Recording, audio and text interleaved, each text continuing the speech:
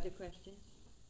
Mr. Brutus, you commented, uh, I think, rather well on the situation in which the non-whites, uh, various kinds in South Africa, find themselves and the effect of this system on them.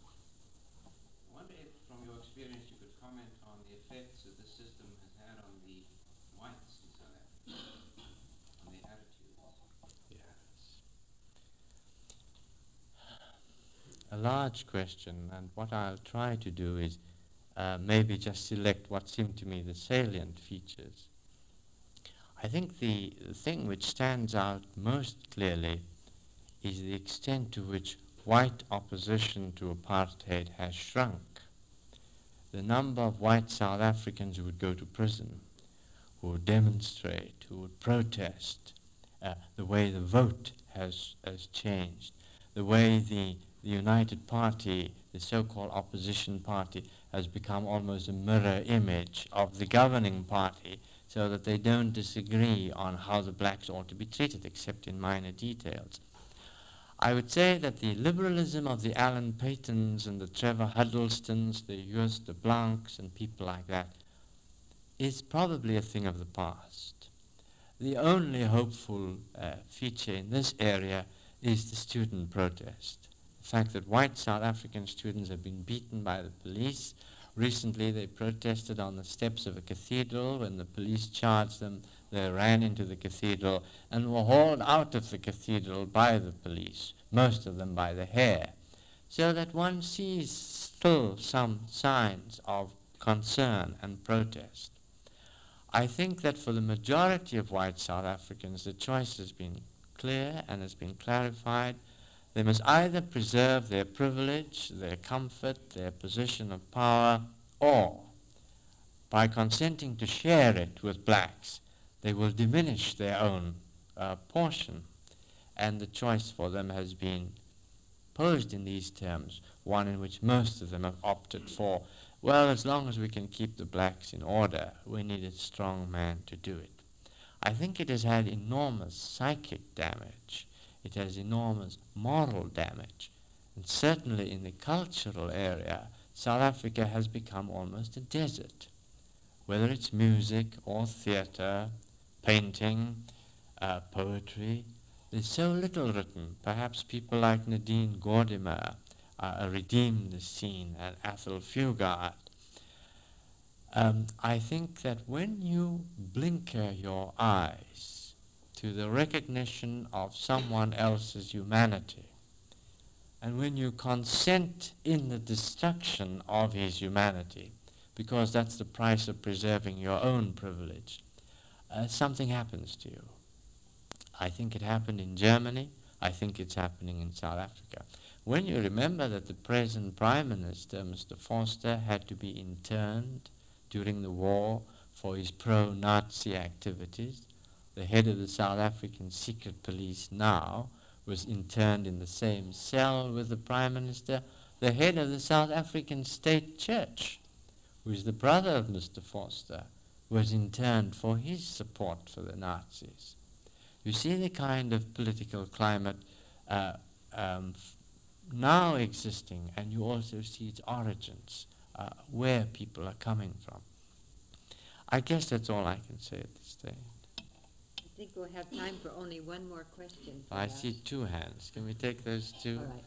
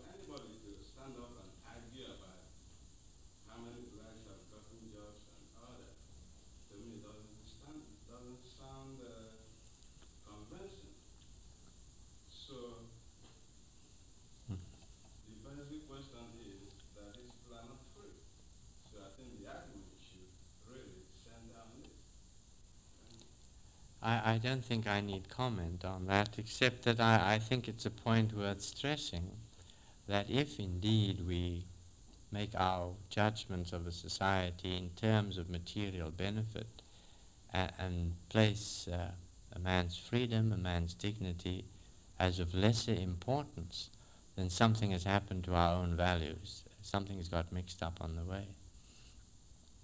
Uh, there was another question.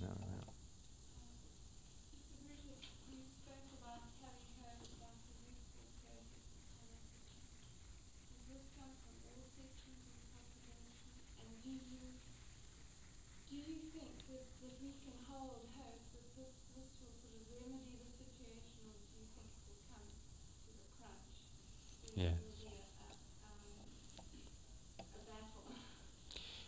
Um, well, I think there are a number of issues there.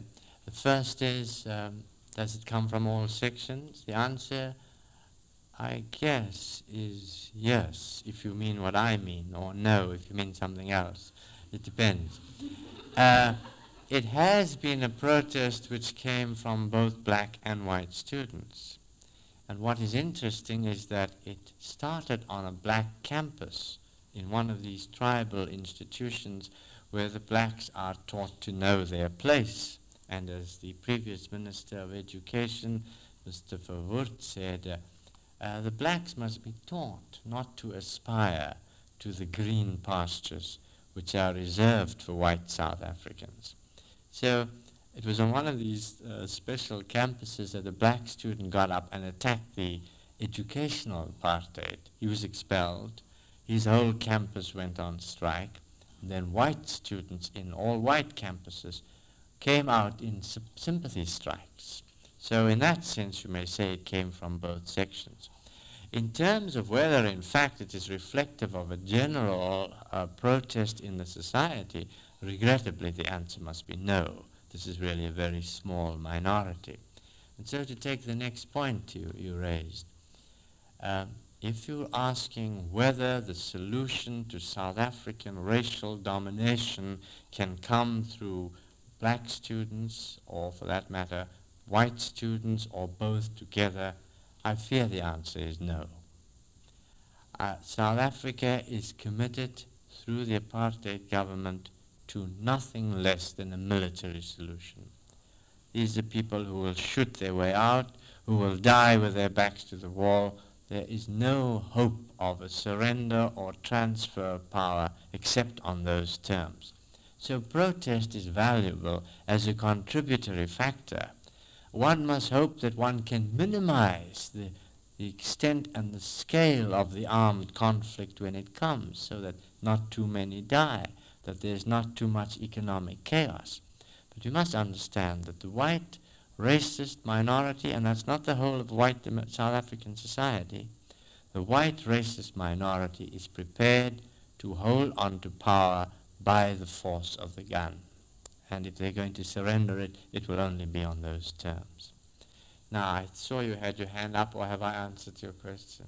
Well, I was meaning um, black and white students, but other people, the whole the white, uh, you know, who get the more liberal students and who get the more kind of conservative type. And I was wondering whether if there was a swing of the conservative type to the more liberal or not. Yes, it's an interesting question and perhaps too specialized for a general audience, but it is quite true that some of the protest against apartheid has come from what were traditionally Afrikaner campuses like Stellenbosch and Potchefstroom, as well as Cape Town, Rhodes, Natal, Wits.